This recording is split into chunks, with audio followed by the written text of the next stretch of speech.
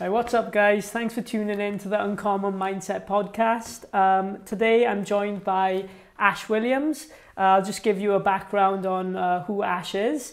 Um, so, Ash is a first degree black belt in Brazilian Jiu Jitsu under Chris Rees. Uh, he's known to be one of the most well known European athletes of his generation. He has competed in events such as Polaris, Grapplefest, Kasai Pro, EBI, and more, winning countless medals and belts all over the world. Um, Ash is not only ranked within the top 10 no gi grapplers uh, in his weight category, but he's also my jiu jitsu coach and role model to me and everyone here at Chris Rees's Academy. Uh, this guy is no joke, and I'm super excited to get to talk to you today, Ash. Oh, awesome. Thanks for having me on the rap. Yeah, no worries. Um, so just to start off with now, I just want to ask, what was your upbringing like? Like, uh, what age did you start jiu-jitsu, and like, why did you start? Um, that's an interesting question. So no one's really asked me that before uh, Oh, okay. on a podcast. Um, so I, I would say good. Like I, I wouldn't say I had a bad upbringing at all. Like Yeah. parents were supportive um, in, in different ways. You know, my mum's actually uh, she was a teacher uh, Mhm. when I was a kid. She was um, a teacher of primary schools. So I think she was very much um, into like the education side of things. You know, like always doing our homework, etc. Yeah. Uh, and then my dad was the martial arts uh, aspiration of the kind of um, family. So my parents were divorced. So obviously, we, we, we didn't uh, didn't spend time with both of them together. But Yeah. my dad, when he had us, he would take us to uh, jiu-jitsu or even he would just pick us up um, through the week after school or whatever, just takes jiu-jitsu and then drops home to our mother.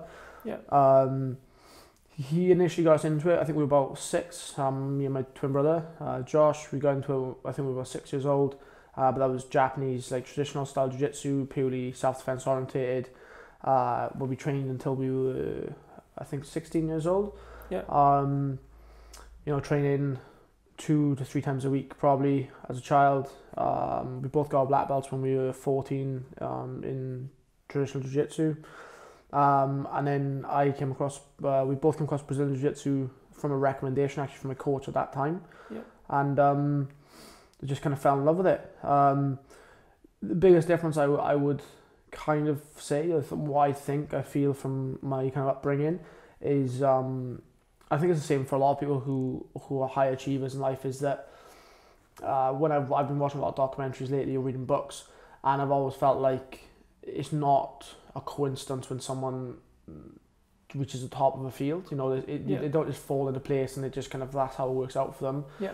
You know, like I had to like I always say that I had to like recite my maths timetables, for example. I had to do my whole maths timetables before I was allowed to go to like rugby practice Yeah. or whatever I was doing at the time. I always had to try and like earn um, or or push to achieve more than kind of my peers at the time. Yeah. So like I always had to try and get like high marks on all my homework. You know, if I had like ninety percent, uh, I always remember like it's it's not like um.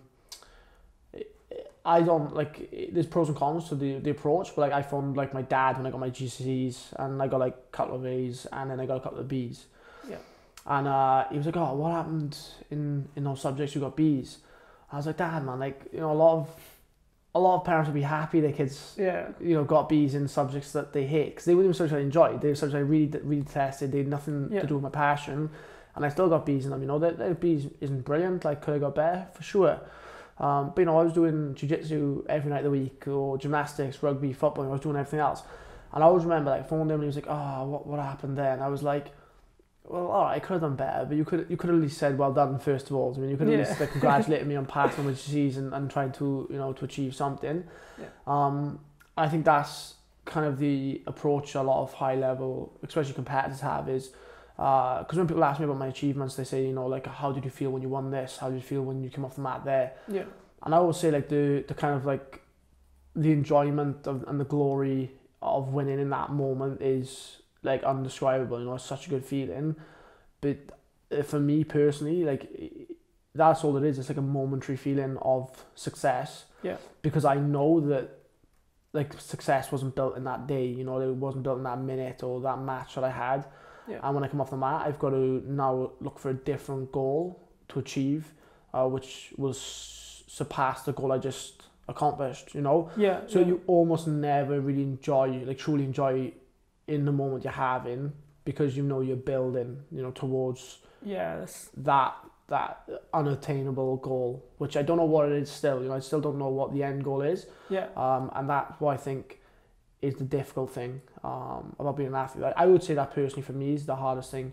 Um, even like grow, I said like the the the, the fact you know, that's why that the top's interesting because I said no one's asked me about my, my childhood or the way I grew up, but like in my opinion, that's what I would describe my childhood as is that like almost like eh, my parents were proud of me, Yeah. but almost everything wasn't quite good enough. You know, I, I had to try and achieve a bit more Mhm. than anything I got. yeah. You know, which I think is um, an interesting approach. Um, you know, I think not not um, anti, and obviously like my bro- my brother also runs a gym. You know, and he's a he's a very good jiu-jitsu black belt. My sister is doing very well um, Yeah.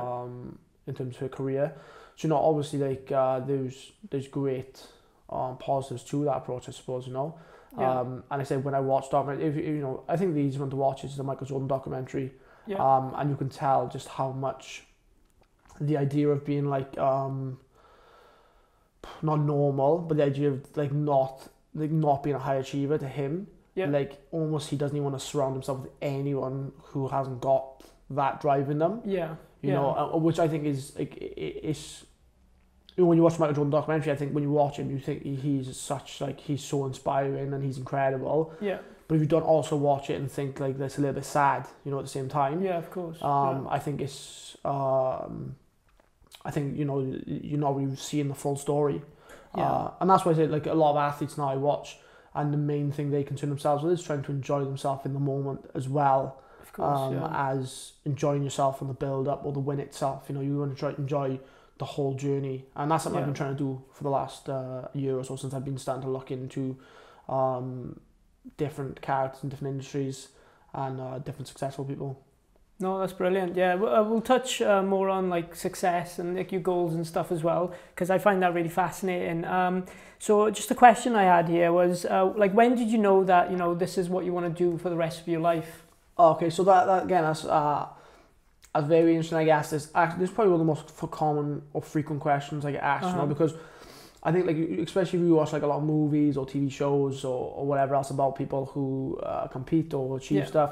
Uh, you know, then maybe they've got like a picture on their wall or they've got like Yeah. a, a goal list written down on a whiteboard. You know, like you obviously like uh, like maybe like a school book and they're like, oh, I will be this when I'm older. Yeah, and they can like open it from then their school book from like Yeah. 20 years later and they're like oh I've achieved the type of thing you know like yeah, you see these things all the time but for me like it was it was nothing remotely like that you know, No. there was no part of me um sat there and thought when I'm older I would be competing in jiu-jitsu when I'm older I would be Yeah. n- you know um world ranked within jiu-jitsu that wasn't really the goal for me I always just wanted to be competitive in whatever field I was in you know I was wanting to be Yeah. competitive like jiu-jitsu was the one thing that I kind of managed to sustain for my whole entire from childhood to adulthood the whole time I did it. You know, like I said, like it's not a skill set you build over a, a year or eighteen months or a week. You know, it's, it's like you've got to commit a long, hard time to become top of the field in anything. of course. Yeah. And um, you know, I did rugby, football, gymnastics at different levels. Um, I Mhm. remember like I got invited into the Swansea City squad for gymnastics. Um, and immediately the first thing I said was, "Oh, what's like the time commitment?" And they were like, "Oh, like you have to be here this many hours, this many days a week." yeah, And then I straight away was like, "Ah, well, that's in a class with jiu-jitsu, so I, I can't do it Yeah. then." You know, so, because jiu-jitsu was always the constant. I always would miss jiu-jitsu practice. I'd go two, three times a week minimum, and I'd always build it up. Yeah, You know, yeah, so um, I think that uh, you know you've got to be like consistent for a longer period than people think you have. yeah, And when I when I was thinking about what I wanted to do, initially all I didn't want to do was work at nine to five. yeah, yeah. Like I didn't want to come out of school and work Yeah. nine to five. So like I said to myself, well, I'll try and do jiu-jitsu if I can. Yeah. But if I can't, I was actually going to become a teacher. Now, if you are a teacher and you listen to this, I'm sorry, but they just get a lot of time off through the year. Do you know what I mean? So what would you teach? Uh, maths or science. Oh, So nice. I, I- I speak Welsh, Yeah. um, and my strong subjects are maths and science, um, or sports, obviously. yeah. Uh, but sports teachers, uh, you know, they're everywhere. You know, like they, yeah. they, Everyone wants to be a sports yeah, teacher. it's, the, it's the dream. you Yeah. know, so, um, no, I thought to myself, you know, I could do PGCE if it didn't go well with jiu-jitsu and then coach uh, or teach science or maths um, in a Welsh school because I know they're crying out for male Welsh teachers uh, everywhere at the time they were. yeah, So I thought that could be a good secondary career for me. But the main reason I wanted to be a teacher is because I wanted the time off, like the six weeks and the two week gaps that they get, Yeah. to go travel the world. So I've always wanted to go travel. I've always wanted to go Love see the world. I've always wanted to get out there and, and do stuff, you know. Yeah. So I was like, well, if I become a teacher, I'll just get well, half the year off and go enjoy myself. Yeah. so when I when I went into jiu-jitsu and I started coaching, that wasn't the goal wasn't to be an elite competitor. The goal was to not be like an average person, I suppose. You know, I didn't want to Yeah. just fall into the category of like wake up, go to work, come home, eat, sleep, Yeah. repeat, Yeah. and get trapped in that cycle. You know, and I think that's unfortunately society is really bad at trying to force that ideology on too many people. You know, they're like go to school, go to university, and then get a good job that you hate for forty years, so you can retire and enjoy ten years of your life with no money. Do you mean like, yeah. like what's the what's the fun in that? You know, so like my primary goal was always just to be able to like quality of life, quality of life over like money uh, and anything else uh, all day. You know. Yeah. Yeah. So um, like good family time. Obviously, I've got a wife. Um, you know, and I, I just wanted the enjoyment factor of life first and foremost. of course. And yeah. I knew a nine to five job was not going to be that. Yeah. You know, for example, my wife when I first when we first actually got together, she was actually uh, a training accountant and she was working in an accountancy firm. She got like a good internship. Mm. But every day she came home, she was just miserable and she just didn't enjoy it. She wasn't. And I was like, why don't you just quit? And she was like, I, I can't just quit. And I was like, well, anyone can quit at any time. Of She's like, what about yeah. money? What about bills? And I was like, we can make that work after. Like, I earn X amount of money, which was just enough to cover both our bills Yeah. in a month. Yeah. And I was like, well, well, well, on top of that, I was like, it, it, right now that doesn't matter. It just doesn't matter. You know, you just quit and we'll just we'll just do something. Yeah. You know. And then she Yeah. quit a job and then she helped me grow uh, the gym and yeah. we've never looked back. But I said like it wasn't. I never sat there and thought from my childhood like I'm gonna be a competitor of this level. Mm-hmm. But I always wanted to not get stuck in the norm. I you know, see. Yeah. And I think that was my biggest driving factor for me yeah. for a lot of years. Once I realised I could compete at a high level, my Yeah. driving factor changed because now I'm ambitious to the point where I feel like I could surpass anything I thought I could have done anyway. Yeah. So I've always surpassed what I felt I was going to achieve. Yeah. So Yeah. the driving factor for me has changed now because I can now try to almost be a leader in my field, you know, which is a different challenge in itself. Yeah, no, it's, it's interesting you said that because before we actually even started this podcast, we were talking about like how like how amazing it is that you're doing something that you love, which is really hard to find because most people are stuck in that robotic Yes. way of like living where they go to school, like go Yeah. to work nine to five, come home, do that for forty years, hate their life, and then just Yeah. you know retire. I- then That's what like um I think the there's a saying somewhere I don't know who said it or what it was, but essentially like you want to find the thing you love first, yeah, and then you want to find out how that thing you love can make you money. that's it. Yeah, Like like that, yeah, and that's why I feel like everyone's goal should be. Like the problem is obviously with overheads and people's livelihoods and like rent, mortgage or whatever. Not a lot of people got the opportunity just to quit the job uh, Yeah. and then give it a go. that's it. But yeah. the problem is until you quit your job and give it a go, um, there's that episode in Friends where they're on about the fear of making Rachel quit so she can get a better job, you know. But I say this to everyone, I'm like, man, just get the fear. Yeah. Just get it. Just quit your job, get the fear, and pursue a passion because you'll never commit harder to a passion when you've got the fear. When Yeah. you've got a like a cushy job or like it what's perceived as a cushy job where you're, Yeah. you're, you're earning money, I never feel like you'd commit the same as if making that work would be the difference between paying your bills or not. Yeah, no, that's, know? that's so powerful. Yeah, no, I, I totally agree with that. Um, so just we'll, we'll touch back on that as well. Um, I just want to talk to you about. Um, obviously, you mentioned that you know you have a you have a twin brother called Josh Williams, Yep. who's obviously you know phenomenal at jiu-jitsu like yourself. Um, what was that like? Like growing up with him, like having the competitiveness, or like what's it like even now?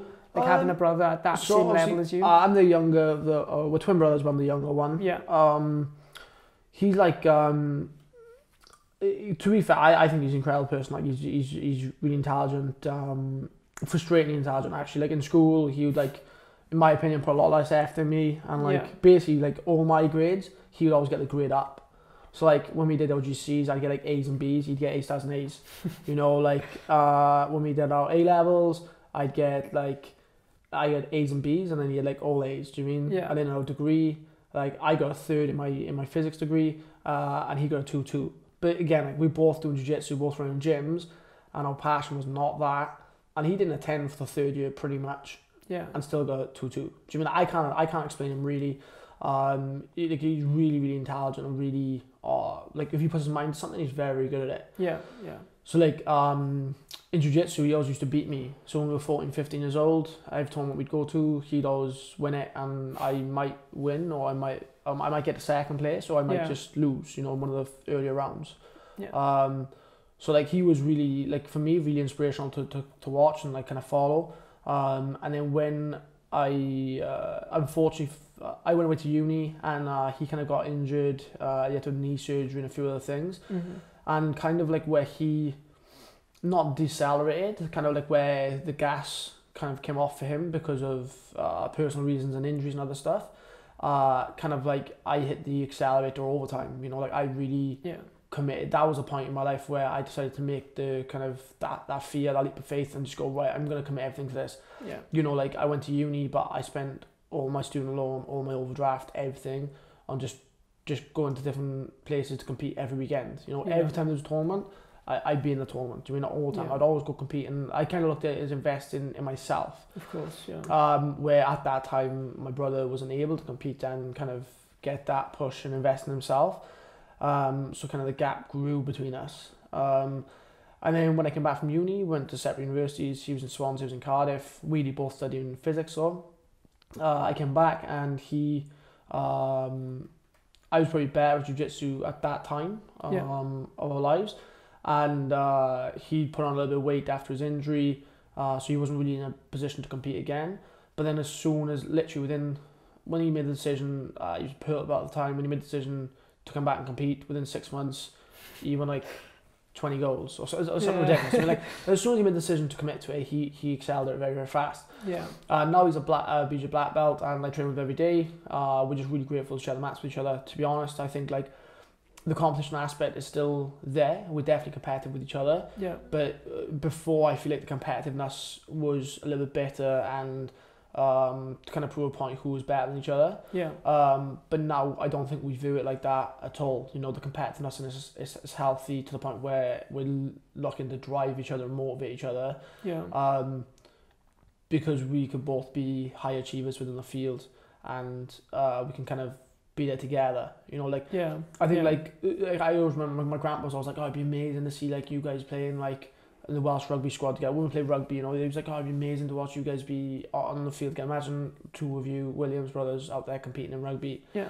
And like, although that was a, a good vision and a good dream that we could have had, um, like competing side by side on Polaris or EBI or any of the big shows really, Yeah. uh, or Worlds or ADCC, uh, I think that would be the most incredible thing ever. Do you know if we achieved that? Yeah. Like for me, like that would that would supersede anything I could win personally solo. Do you know, like if I could win by course, myself, yeah. like competing with my brother alongside me, like me out against the Williams brothers or whatever, like that would supersede virtually anything I could achieve solo. You know, he's been there for all my, my, my biggest achievements in my life, um, and it'd be cool to share one together. Together, know, yeah. so no, I could be nice, definitely you see know, that. Yeah. But um, yeah, it's great. having tw- I, I think having twin brothers like the best thing in the world. yeah. Like I always say, if, if like I'm currently not pro having a child right now, uh, but if I was to have a child, like I'd be praying it was twins.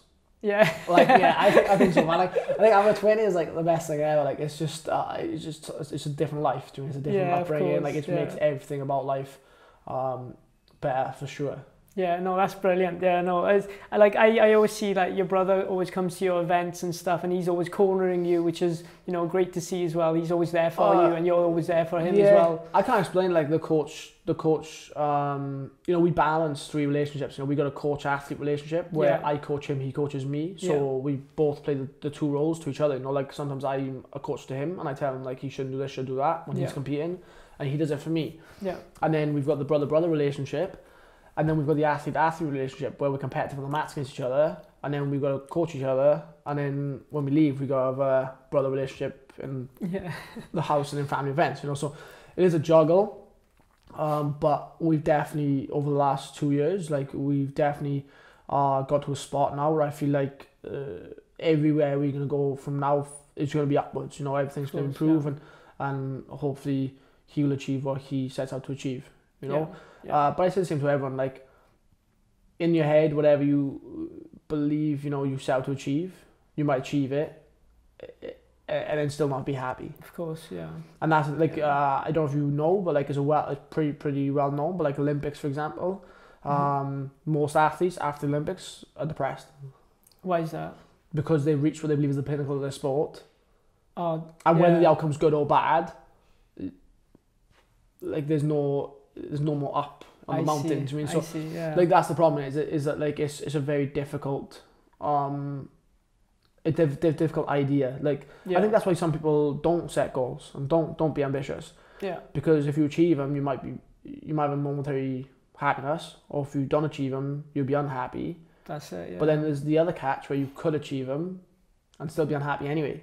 yeah, I see. Doing I that, see, that, yeah. That's what I think is mad. Is that's why don't people. That's why like if you do think with Je- Jeff Bezos, for example, Yeah, like with Amazon, like right now in this current climate, he is killing it. yeah, But He could at any day say that's enough, couldn't he? of Like course. he could literally yeah. be any day. He could be like, "That's enough, and we've reached what we, we set out to do." Mhm. But he, might, he must have reached, he reached that years ago. He's already surpassed anything he thought he probably was going to do. Yeah. But that's so, it. So when's he going to stop? And yeah, of course. everyone, yeah. everyone else says like, how much, how much richer does he have to be? But he- he's not chasing that though. In my opinion, in like in my personal opinion, from what I believe Yeah. the mindset would be, Yeah. I don't believe he's chasing that. He's not chasing like he's just beating every, every time he sets a goal and gets to it. he sets another one. he's just it? beating yeah. it. Do you mean that he's just beating? And uh, it's like that hungry, like achieving uh, like mentality that he's probably got. Yeah, You know, yeah. he must have to do what he does. No, of course, yeah. Like I, I, I agree with you because he's so rich and like he, he definitely doesn't need any more Well, money. just But yeah, he he? can just stop whenever He he wants. stop and just buy an island, Yeah, like fill it with all the people he enjoys. Probably, probably build build people or whatever. Yeah. So he can do whatever he wants right now. But he probably not. He's probably still reading books, like making good choices, pushing Yeah. hard to make good decisions, like and working hard. I mean, he's probably not just sitting with his feet up, partying and loving life. yeah. No, I, I agree. And like just touching on that, like touching on uh, you know the, having that winning mentality, and um, you know like I think one thing that differentiates you from you know other people. This is why I call you a, like an uncommon person is your work ethic. Like I think that like even in training, when we're in training and like I, I watch you train or whatever like that, you, the way you dig deep is is phenomenal. Like it's just crazy because like you push other people to want to train more, like train Yeah. harder. And like David Goggins said, this quote is like, "Don't stop when you're tired, stop when you're done." And that's you in a nutshell. Because like, yeah, I, I would like to agree with that. Like I think yeah, but I, I like so especially when it comes to athletes yeah, um i think a lot of people have got a misconception of what training hard is or training smart or whichever way they want to look at their training hmm um a lot of people like in my personal opinion believe that like showing up i compare to school when i teach seminars people ask me questions exactly on this point I always say about school, I always say to them, like, right, did you get 100% in all your tests? And they say no. And I'm like, why?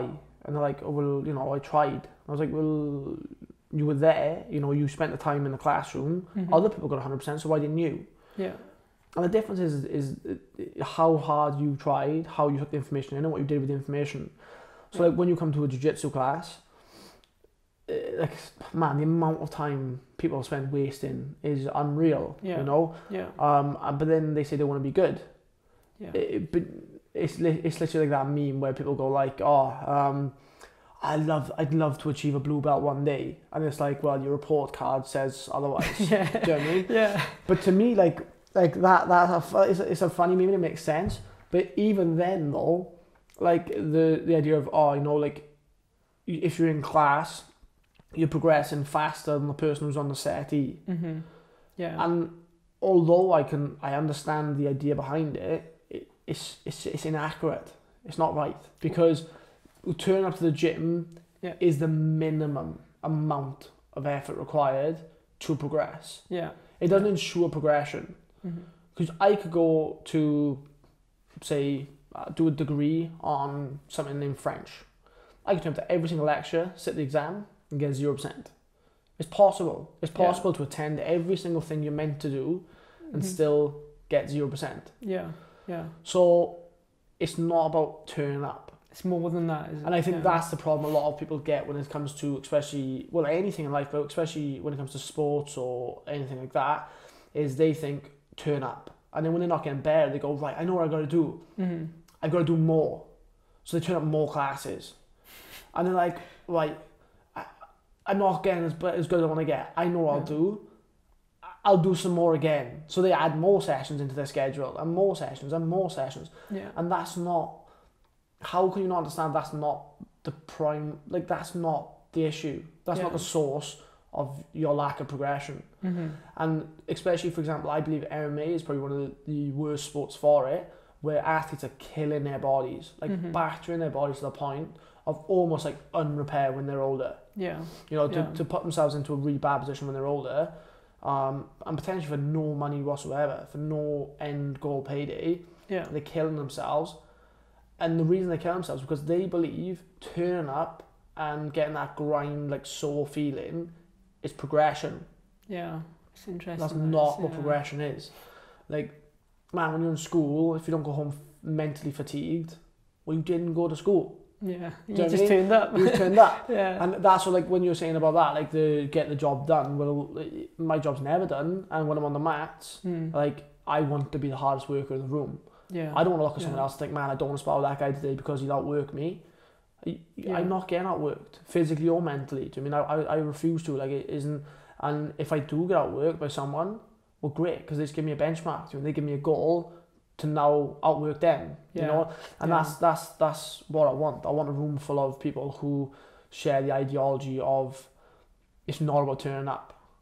Yeah. anyone can turn up. Of course. Yeah. You no, know, it's, that's so powerful. And like, yeah, like just touching back on that, it's like when you're there as well, you know, like you're never the type of person to say, oh, I'm not gonna do this round. You know, I'm tired.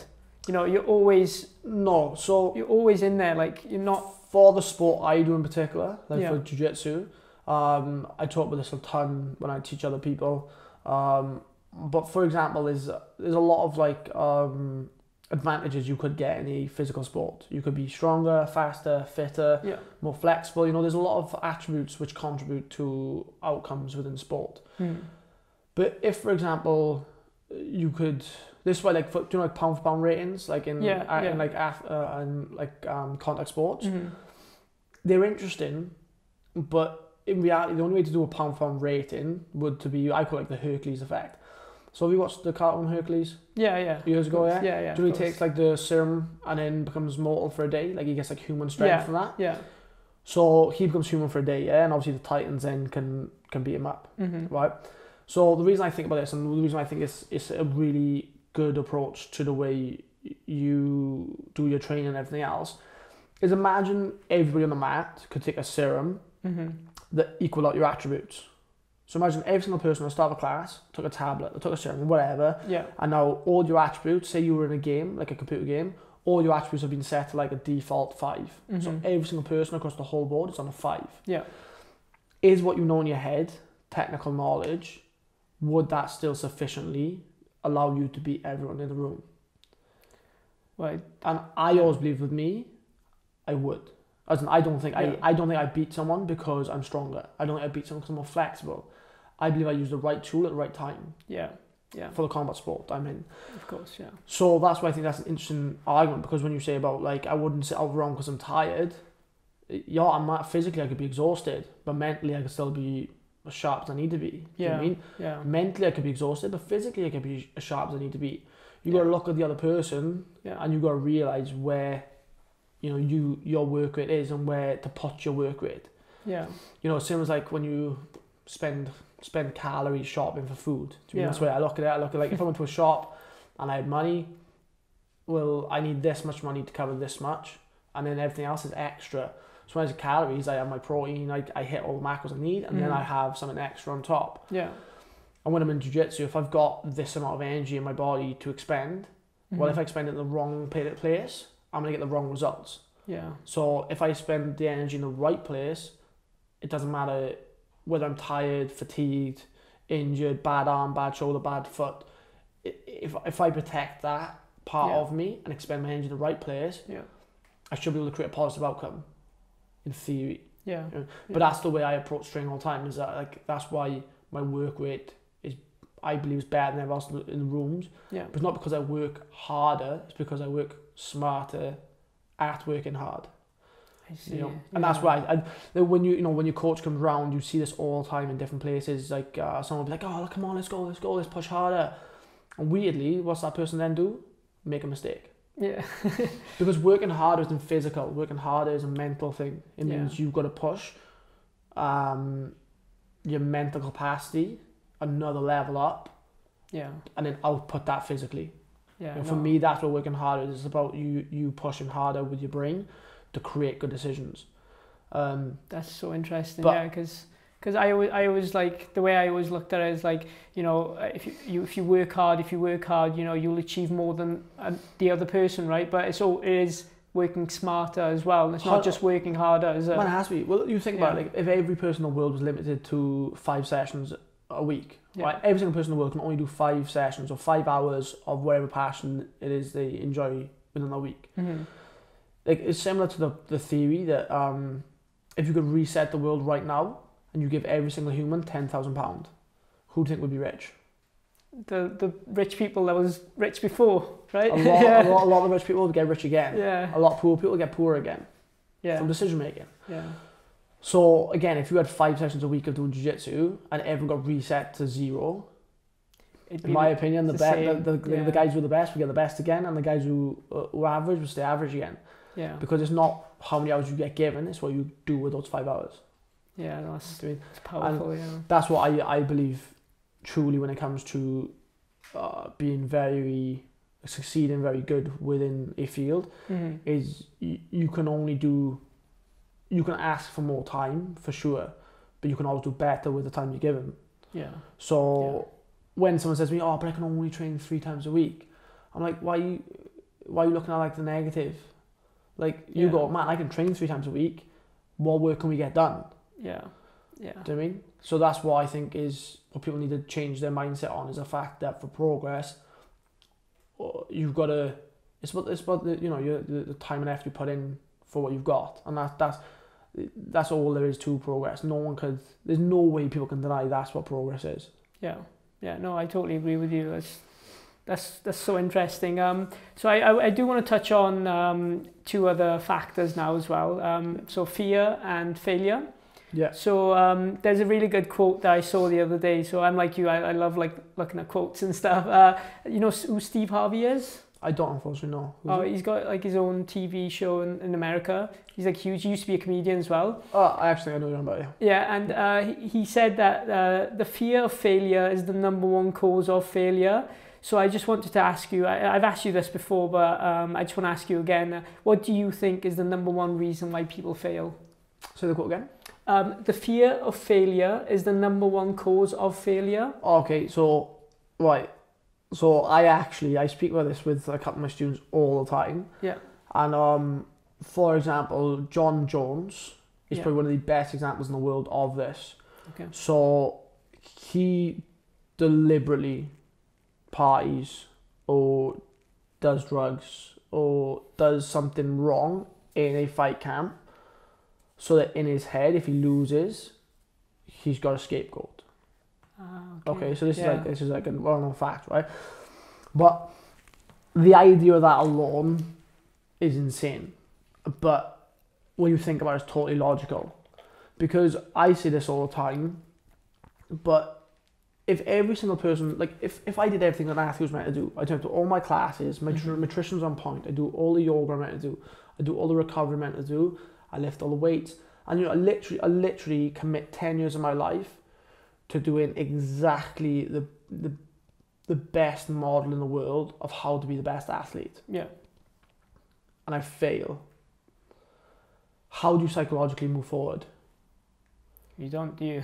So that's the problem. So like Yeah. I I believe almost every athlete sabotages himself in some way. And this is why I believe someone like Gordon Ryan, for example, is exceptional. Because even when he talks, you can tell the unwavering confidence he's got in himself. Yeah. But the reason I believe he's got unwavering confidence in himself is because he doesn't he doesn't have the fear of putting a negative into his life, so he can kind of accept failure. Yeah. Yeah. Um, So which he doesn't have a scapegoat, basically. no, I don't think he Yeah. does, and that's why he's incredible. You know, he is incredible. Like you know, he Yeah. said like Brazil. You know, I, I've said it before on a different. I went to speak to someone else. Like he you know he kind of gave a blanket statement of Brazilians are lazy and they don't treat pro sports as a sport. Uh, pro pro jiu-jitsu as a sport, you know, Mm-hmm. which is almost true because if you look at any other sport, like if you're an NFL player, basketball player, whatever, and you said, "Oh, what did you do in the lead up to your match with this world champion?" Mm-hmm. and they're like, "I partied in I partied in Rio for three weeks." Yeah. Like what? like how? Like how does that make sense? Like that's not that's not a thing. Do you mean that's not Yeah. what sports athletes meant to do? yeah. But the reason people do it, in my honest opinion, is because the fear of, of doing everything right and still losing. Yeah. Because it's a really like it, essentially it, you're almost showing yourself where your ceiling is, Mm-hmm. and nobody wants to believe that their ceiling is where it's at. Everyone wants to believe Yeah. they can achieve past it. Mm-hmm. Yeah. As I said, and every time you reach the ceiling, you go, "Oh, I've achieved this. This is what I thought I, I always wanted to achieve." You'll immediately put, put your ceiling higher. Yeah. So when you keep doing these like flaws in your training camp or your flaws in your life or whatever else you're doing to ex- almost accept failure, um, I don't think it's because people want to fail. It's because I think people are af- afraid. People are scared of the idea of doing everything right and failing. Yeah. So it's very similar to that quote. you know I mean? yeah. Yeah. It's Um, interesting. It's yeah. actually what's why I, I, have you um have you seen Coach Carr? Yeah, I love that film. Yeah. Yeah, one of my favorite films. Do you know the the deepest fear quote? Yeah, oh, our deepest fear is not that we are inadequate. That's the one. deep- Yeah, yeah. So like, my personal opinion is it's it's that. That's that's what that quote is saying. Yeah, it's, it's saying that obviously everyone's scared of doing everything right, and the one in, for example, in Coach Carter references the ideas of putting other people down. Yeah. So to make yourself feel better, one of the easiest ways is actually not to make yourself improve, but is to put the person next to you down. You know, so Yeah. like, like you feel like a bigger person at that, that given time. You know. Yeah. But Yeah. I think you could flip that on its head. And the reason the quote unquote card's really good is because I feel like me competing at a high level Mm-hmm. doesn't make other people around me feel like they can never achieve it. It's actually the opposite. It makes people want to achieve it. It makes people want to push and realize there's a different world out there than the one that you kind of boxed into before Yeah. you know, which I think is uh, a brilliant idea. But when it comes to fear in sports, I think uh, the fear of failure should only be what you expect of yourself. Yeah. I said, like, I got, you know, I get matches against tough guys all the time, super hard opponents, and in reality, I'm almost always expected to lose. Um, but man, if I lose, what, what, I don't understand what, what, what's that prove? I'm not a loser, man. I, I, I put myself out there and tried something no one else was willing Yeah. to try anyway. Yeah. I mean, like, uh, you know, the whole idea that anyone steps in the cage in the UFC or anyone who gets on the mats or a high level event or whatever, you know, they're winning before they step on. That's not true because you won't, you won't actually win the match. Yeah. You know, Of course. Yeah. but are they doing something that 99.999% of the population wouldn't do? Yes, Yeah. 100%. Yeah. And, you know, they should be accommodated for that because they are put, they are facing fear and they, they are like legitimately um, setting themselves up into a position where they could either elevate themselves or they could uh, spiral into Yeah. negativity. So it is a tough position to be in. No, of course, yeah, and like, um, you know, like you you just mentioned that you know you've you've you've versed like a lot of tough opponents, right? Like, so I got a list here. It's like the legend Imanari, Geo Martinez, Ethan Crelinsten, Cade Tolo, João Miyao, and, and the list goes on. Um, so the question that I have for you is, what's your thought process, and how do you feel when you're about to like step onto the mats to fight guys like this? Like, is there ever like a sense of fear? Oh, okay. So I'm honest about it, but it doesn't matter who I've got a match with. Um, Yeah. I'm just petrified the whole time. Yeah. But I'm not afraid like anything bad's gonna happen to me. I'm afraid that I'll do myself a disservice in front of everyone. Do you know what I mean? Yeah. And that that, that my uh, I'm I'm not got a fear of losing because people lose all the time. yeah. Like it's not a fear of losing. My fear is like imagine gripping up with someone and knowing that even if you press pause on their life and you had another eighteen months to Mhm. train, imagine gripping up with someone and knowing that even if you give me eighteen months, I still couldn't beat this guy. Yeah. That's my fear. My fear is when I when I when I spar with someone or when I have a match with someone, that I will realize my ceiling. Yeah. I mean that's that's my fear when I go compete is that not that I'm gonna lose or not that I'm gonna make a fool of myself. my fear is realistically is knowing that I can never beat them. Yeah. And I've never, I'm not coming against, I'm not coming against it so far. Everyone I've lost to, I've always felt, man, like, no, I can beat this guy for sure. yeah. You know, everyone, obviously people I've beaten, I've felt like, oh man, to, to be fair, they could actually beat me on their day. Yeah. But, Yeah. you know, I'm still at that level.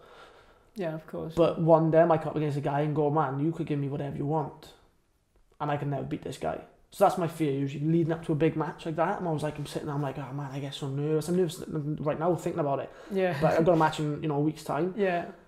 I'm even thinking of the person I got to compete against, I'm like, what happens if he just beats me outright? What happens if he just shows me? Like, I would say, like in MMA, do you like getting knocked out? Mhm. Say you get knocked out in 10 seconds. Horrific way to lose. But in my opinion, that's a far better way to lose than being dominated for five, three five minute rounds. Why is that? Because imagine the psychological approach you've got to that. Anyone could knock someone out in any given circumstance in life. Like, as in, like, Yeah. uh, the idea of puncher's chance. I'm not saying that that's what that is, yeah. but let's take Conor McGregor Aldo. yeah. How many times could Conor McGregor like repeat that exact process? Never probably. You know. they fight a hundred yeah. times, it's not happening again, in my opinion. Yeah. But imagine Conor McGregor went out there and outboxed him, took him down, out cage wrestled him, out grappled him. Yeah. How does Aldo go back and go right? We'll have a rematch. Give me six months. I'll change my game plan. How does he do that? Yeah. But- he- but- he's yeah. realised that that athlete is just past him. That athlete is better than him. Yeah. and that's like when I compete, like my biggest fear is that is Is that that, realizing that I'm not, I can't achieve what I'd like to achieve. Yeah. You know, I want to be on ADCC, which would be the top, you know, like the Olympics for the sport. You know, I would want to be there and show that I'm, I can compete with the the best of the best. Yeah. And right now, I feel like I belong there. Of course. Yeah. But I could lock up with someone and go, do you know what? Actually, give this guy my spot, man. I'm not, I'm not, I'm not there. This guy is, you know. And that's the problem to compete for me is that like that's the fear, and like it gets like it can get really bad. You know, I can get to the point where I'm like, oh man, I might just like get injured in the gym just so I don't have to compete. Do you mean like like really, really, really bad thoughts? I, I'd be like, oh man, like what if I just like like crash my car into a wall or something? Car Yeah. crash, no, no tournament. Do you mean like Yeah. like I do get scared of competing. Yeah. But I said it's not the real fear is the fact that the the ceiling could happen at any point, um, and I feel like lo- losing's not what people's true fear is as an athlete. As an athlete, in my, my Yeah. opinion, Yeah. like it's just knowing that you can never get to where you want to get. Yeah. Unfortunately, until now, I've not really come across that. Uh, but you know, the list of names I've competed against is massive, and if you check the rest of my record, I've competed against like numerous world champions. Yeah. Um, and I've never rolled with someone, and I felt like, man, I could never ever beat this guy. You know, so Yeah. right now it's a positive for me. Course. But you know, you definitely like I know there's guys out there who've competed, and they're like before the match they're super confident. They're like, man, I could beat anyone you put in front of me, and then they they get hold of the next level up, and then that person manhandles them or or you know puts them away, and they're like, man, I, Yeah. like you need to get I need to go back to drawing board. yeah. and Yeah. that's that's the issue. You know, that's where I kind of um, for weeks before a match, it takes me like I go up and down. I'm always like I get- a, spirit, a big spirit of confidence. I'm like, man, I'm gonna beat this guy. Mhm. Like against Ethan Krause, and the truth is, I was literally like, all right, let's just go out there, get beaten up for 15 minutes, and then collect a paycheck and go home. Yeah. You know, I was at that point. I was literally like, man, like this is a big step up. He's super tough. We're gonna lose, but that's cool. We'll just go in there and show that you know I'm not terrible Mm-hmm. within the first two minutes, man, I just started, I took him down and I was like, I am actually Yeah. going to win. I was like, I'm actually going to win. I can feel it. I like, I tell myself in the match, and I've done this with loads of people. Like, I was at João Miyao, I was literally looking at the scoreboard, I was ahead on score, and I was like, like, no, man, this can't, like, this cannot be happening. Like, who who paid the guy off? Like, to, like, Yeah. let, like, I just couldn't believe that, like, I'm actually at the level of that, you know, but, Yeah. like, it, it, there's pros and cons to it in there. You know, Of massive course, highs, yeah. massive lows, but the fear for sure, man. I, I- don't know if any other competitors, you know, like uh, people do get nervous or not and portray in different ways. Mm-hmm. But for me, like I can't foresee a single match in my career where I'm not going to be nervous. Yeah, of You know. course. Yeah, no, that's interesting. And like, uh, I did see a, another quote about fear, and it says, fear can have two meanings, right? It can either mean forget everything and run, or um, face everything and rise. And I thought that's really interesting, right? Because if you if you just forget everything and run, you're never going to know what's on the other side of fear. Yeah, for sure. Yeah. And if you face it, you know, you might fail, you face it again, you might fail, you might fail, but then eventually you will rise, right? Oh, that's my like. I'm happy Yeah. to. I think uh, failure is part of success. of course. You don't have to fail for sure. And if I fail, I'll go back and I'll see what I did wrong, and then I'll try to overcome it and, and face it again. You Yeah. know, uh, I said like doing that over and over again. I got no problem with. My problem is if I lock up with someone and you go, And they- well, yeah. go back to the drawing board, and there's no drawing board because Yeah. you know, you you know in yours when you know deep down, Yeah. you give me whatever time you want. I can't I can't beat that. Yeah. You know, like there must be like lifting records and other stuff people got to, you know, like in all all aspects of all fields where people go like, oh, you know, this would be the the ultimate goal. hmm And then when you try to achieve a percentage of that, and you go, man, that's that's not attainable. Yeah. It's not attainable. You know, so it's interesting. Yeah, and um, you know what fascinates me as well is not when like not when people are, winning and like how they react when they win, but how they react when they lose. And you know, obviously, we've all you know been at a stage where we've lost or like Yeah. you know we've been defeated in life. Like, how do you how do you bounce back from that? Like, So what's your mindset when when it comes to that? So it's much easier. Losing's much easier, in my opinion, Okay. because when you lose, like the st- the stimulus for me to go compete again is immediate. Yeah. Like I literally, have, I've, I've actually done it. I've literally been at a tournament, lost, and driven home, gone on my computer, looked for the next tournament that's nearest to me, and booked there immediately. yeah. Like for me, like losing is the biggest motivator to want to compete again, because once you've lost, Mhm. well, you're gonna win again at some point. yeah. So that's upwards. yeah. Like I went, I, you know, I, I actually on my, I had a bro, I had a winning streak going for eighteen months. I hadn't lost a match since I fought Geo Martinez 3 years Mhm. ago, and a year and a half ago, Richard Alarcon beat me um, by a point in Kasai, Yeah. and that was my first loss I'd had in eighteen months. Yeah. And it wasn't, it- man, I tell you, it was, it was, it was unreal. Even though I was furious at myself for my performance, but I literally felt like a weight had just left, like gone. I was like, man, this is, um, I, I can't wait to go again. Yeah. I was like, put me in there again because I was I was so afraid to lose because I, I felt like I'd feel like a loser. But I didn't feel like a loser at all. I felt like someone who'd gone out there, given everything they got, Yeah. and try my best. Well, I actually didn't try my best that day. Yeah. But for that day, I tried my best. But Yeah. was it my best? No. Yeah. And that's the reason when I lost then, I always knew that if you give me a rematch with that guy, I can beat him. Yeah. And I actually did rematch him. And I did beat him. And it was very good. yeah, and I beat him Yeah. more convincingly than he beat me. yeah. But that was my point. Was w- w- within that loss, I realised that my ceiling is above his, Yeah. in my opinion. You know, that, that's why I, re- I realised he was not my ceiling. Yeah. And when I lost to him, it actually inspired me and gave me a lot more, a bigger boost to just go back out there, train hard, and just compete against him again. Yeah. Yeah. And that's why competing against new people is the scariest process for me. If you say it was a rematch against someone that I knew I could beat, um, well, then I'd take, you'd take it any day, wouldn't you? Of course, yeah. doing. Um, but once you've beaten someone and then they want a rematch, if you know it's close and you're like, man, if I give this guy a rematch, you could beat me this time. Yeah. That's nervous, because Yeah. you're going to give Yeah. away a win that you've already got. So, um, I think uh, when you lose, uh, I you know I've only I've I've lost one match every year for the last three years, and every time I've lost, I've never ever gone off that mat and thought, man, I don't know if this is for me. Yeah. Every time I've lost, Yeah. I've gone, man, you put me back in the next week. I can't wait. Yeah. You know. That's powerful. Yeah, no, that's interesting to hear. Um, so just just to uh, you know, couple more questions now. Um, so let's say if someone is is hesitant to actually start jiu-jitsu, like so I remember when I came I came to CRA like six years ago, right? And I only came for like two sessions. Yeah. I was in college at the time, and um, I and I, I always beat myself up for not sticking at it because now I've been doing it for two years, and like I've been telling all my other friends about it to like start it because yeah. it's so powerful. I think for like mental health and other benefits as well.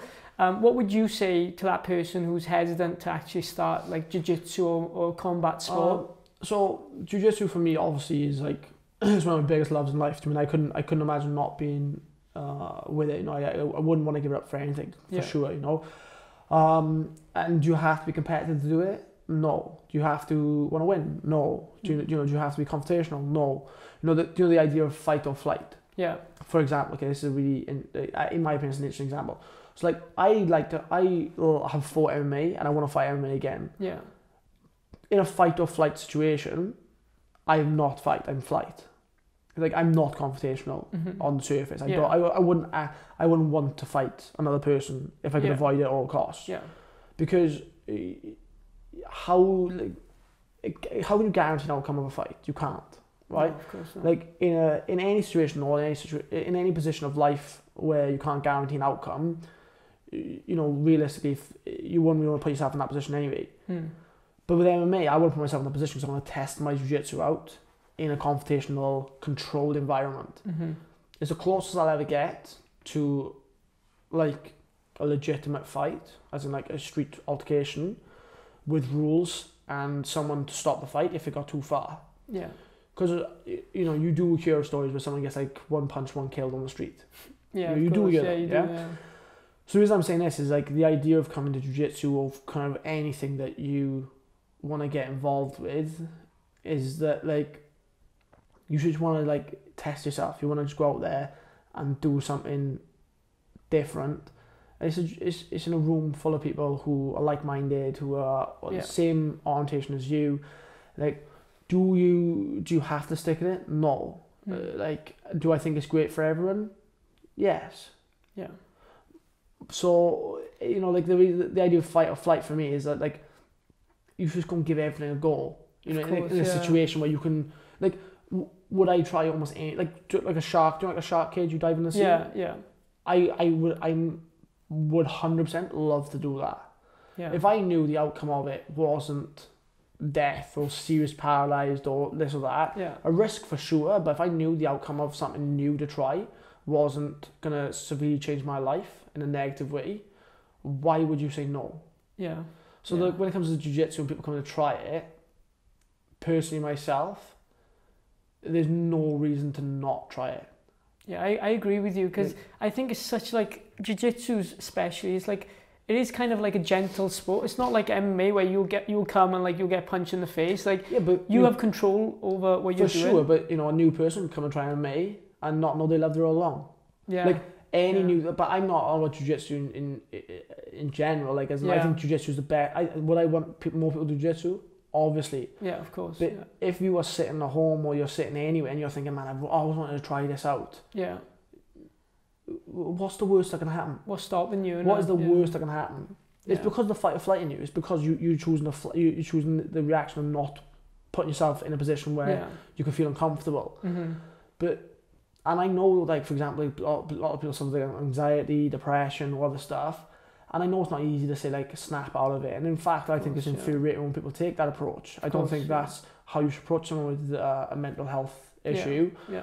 But for me, there's like, there's no logic in not putting yourself into a controlled environment with other people who just want the same thing as you, which is passionate about uh, a field, any field. It could be anything. Yeah. Yeah. You're like, I'm passionate about other stuff, and would I want to be doing that more frequently and pursue it? Hundred percent. But I'm going to try the chance because I'm doing jiu-jitsu so much, and I'm Yeah. putting my life to this. Yeah. But for anyone who's wanting to try jiu-jitsu, honestly, you like, like it's just one step. Yeah. It's only it's one step away. All you got to do is walk in a gym and try it. But that's the same for any other activity. It's the hardest part in it. Starting. Starting, Starting is the hardest part part. Yeah. You know, that's why like I, I the reason I'm using the fight or flight example is because even if you're fight or flight, it's a controlled environment where you can come Yeah. and try it out without any repercussion. Yeah. There's no Yeah. negative outcome to trying something new. Of course. Where when you compare MMA to a street fight, it doesn't matter what you are. Yeah. This is controlled. This isn't. yeah. Of course. Yeah. So why would you attempt this?